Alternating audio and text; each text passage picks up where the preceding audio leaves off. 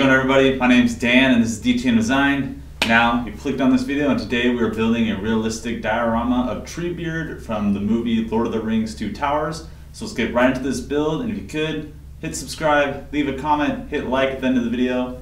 Highly appreciate it. Let's get into this build.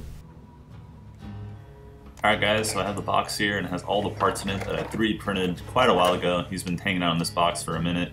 I do have some other projects in that box that'll be future videos, but for now we're just going to be building Treebeard. So I just started off super gluing them, pretty simple. The whole model was printed very well and designed in very high quality, and it has just a lot of detail in it, so it's definitely worth the price.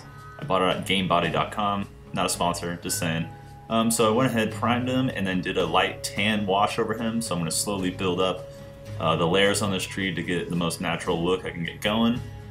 Uh, painted some of his leaves uh, before doing any more washes and then created a thicker brown wash and started going over the whole model with it to get all the cracks and crevices to really bring out the detail uh, that the 3D print has in it. So after completing the wash, I went ahead and started doing a quick dry brush over the whole model uh, to start making the details pop out again because the darkness kind of brought it down.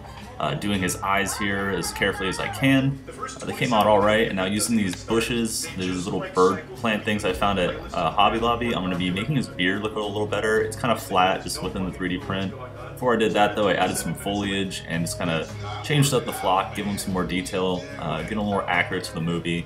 And after drilling a bunch of holes in his beard and then shoving up little chunks with super glue on them, I was able to create a more poppy beard, more a little bit more realistic and more movie accurate um, than what just the 3D print provided. Um, so he looked pretty good, add a little foliage into his beard, kind of represent the movie, and then a little bit of dry brushing to kind of match him a little better with uh, the rest of the wood. I did 3D print out the hobbits because you can't have Treebeard without And Pippin riding along. Uh, these were expensive files. I really thought about not doing them, but really couldn't not have them.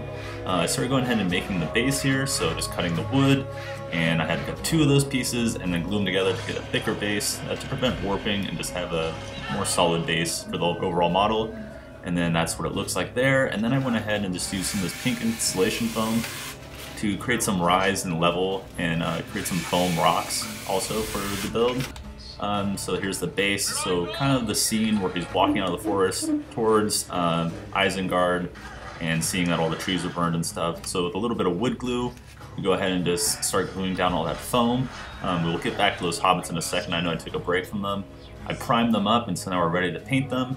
Now, in the process of painting, I kind of just got lost in it and didn't film it, but here they are, the two little hobbits, added them to the top, and here we go with the wood glue, spreading out here, getting it ready for the base throwing down some salt uh, to get that nice texture that we want at the beginning. And then here I have some of the sticks left over, some mulch from just outside, real dirt, and some wood glue. So what I'm going to be doing is making like a kind of concoction here just to seal in the foam and spread it around with a little spatula here. Um, and that'll all dry and just make a nice hard thing and seal in the foam.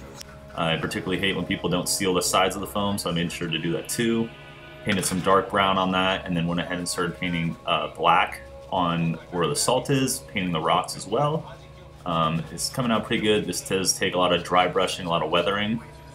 Um, so, and I also noticed like some of the salt wasn't fully stuck down, so it kind of come up as I brushed it, so I had to wait a little bit.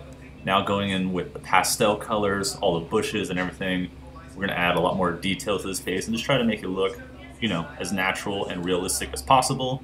Um, so, you know, I did my best to document that, but, you know, like again, you get lost in the build sometimes and you kind of neglect the filming. Um, but after that, I was able to get some logs from outside, glue them to the base, do all the weathering I wanted to, and then I cut out this piece of felt, used some Super 77, uh, mounted it down onto the base, grabbed a fresh new blade, because with the felt, you really don't want to snag it or pull it, it'll really mess up. So putting on a fresh new blade on the X-Acto blade, and just doing a few light passes, let the blade do the work. Uh, the felt should eventually just fall off to the side like that and be a perfect thing. So here's the model guys, hope you guys enjoyed the video.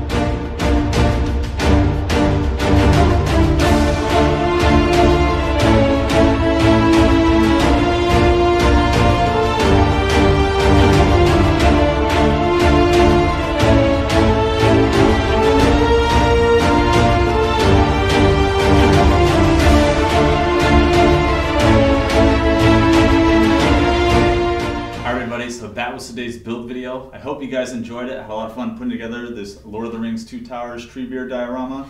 Uh, he's been sitting around a long time in my closet, so it's finally cool to put him together.